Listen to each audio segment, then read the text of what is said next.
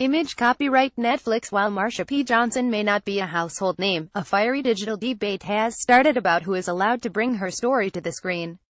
Johnson was a black transgender woman and outspoken advocate for transgender rights in the 1960s. Most famously, she was a key participant in the 1969 Stonewall riots in New York City. Many see those events, which broke out after a police raid at the Stonewall Inn, a prominent gay bar, as the start of the gay rights movement in the United States. Johnson's story is the subject of a new Netflix documentary by David France, an established filmmaker who's also gay and white. But France is not the only one who's been looking into the story.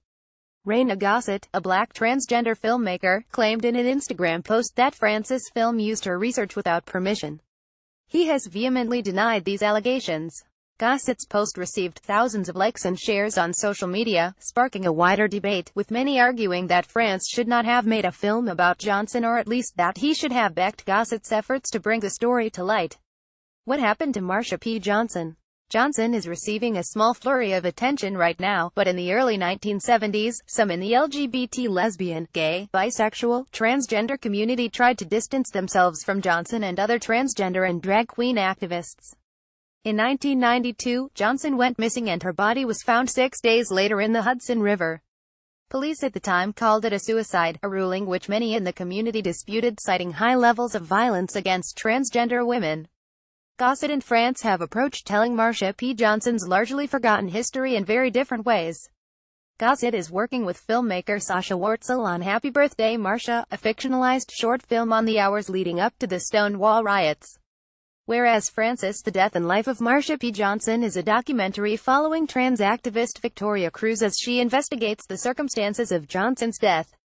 However, some on social media have argued France should have stepped aside and let Gossett, a member of the trans community, tell Johnson's story.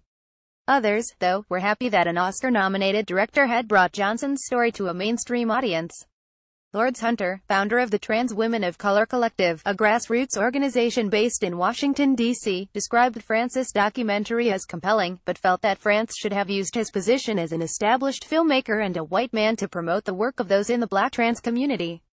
Stories about black trans women should be told by black trans women, she tells BBC Trending. Hunter added that France's proclaimed support of Gossett's film is not enough. People who have access to resources, have access to social capital, access to finances. Their role in the movement is to leverage their access so that the people who are supposed to be telling these stories, who are actually living these lives, their voices can be elevated. You might also be interested in listen to more on this story on BBC Trending Radio. Transgender train workers don't pity us. Why transgender Africans turned against a famous feminist. Follow BBC Trending on Facebook France, however, said he felt creating this documentary was a way of atoning for some of his community's past mistakes. For me to not go back, for me to not revisit that story about which I knew so much already, would align me with the people who are eliminating their narrative from our history, France says, adding that the stories of historically important figures belong to all of humanity. Gossett did not respond to BBC Trending's questions, but recently expanded on her initial post. As France's documentary starts to make its way to large audiences, I can't stop thinking about the voices that have been pushed aside in the process, she wrote in an article for Teen Vogue. Too often, people with resources who already have a platform become the ones to tell the stories of those at the margins rather than people who themselves belong to these communities. The feminist site Jezebel has since published a comprehensive rebuttal to Gossett's initial allegations. France's documentary has received positive reviews from the mainstream media. According to Gossett, her film is still scheduled to premiere next year. But the online debate continues around who has the right to tell Marsha P. Johnson's story. Blog by Elizabeth Cassin and Ritu Prasad Next story Happy birthday, Mr. President Image Copyright Getty Images When President Vladimir Putin turned 65 on the 7th of October, he was not short of online well-wishers. But how many were real? Read more You can follow BBC Trending on Twitter at BBC Trending, and find us on Facebook.